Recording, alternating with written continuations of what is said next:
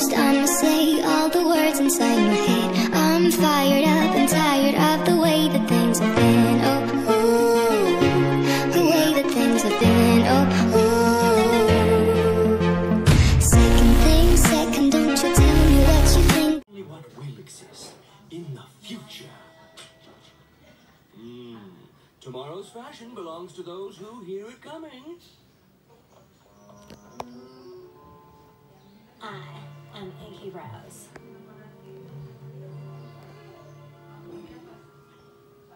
You have a very focused vision, a strong sense of what you want. It's good. Applejack, you've been rather quiet. What do you think? Well, it's a lot of black. It's kind of depressing.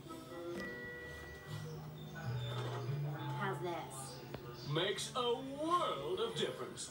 Maybe to fashion experts like you, but to ponies like me, it's still black. And uh, I'm not sure how you wear singing birds or the future.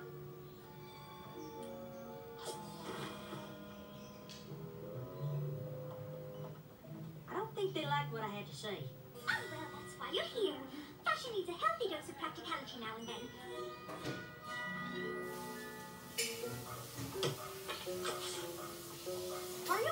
Holes in the clothes on purpose?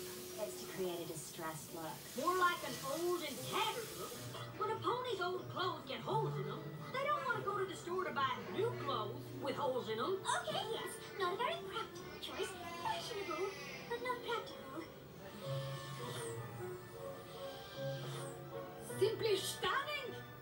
Sure, it looks pretty, but that's a lot of fabric. With the way it drags behind, it'll be covered in dirt in no time.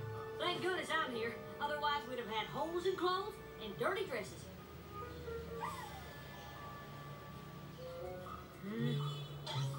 But of course, no look is complete without mane and makeup. So, uh, when are you gonna do her mane?